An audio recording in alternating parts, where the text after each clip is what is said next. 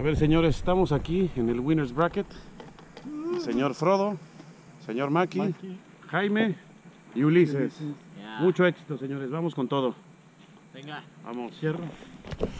¿Que no corren con GoPro?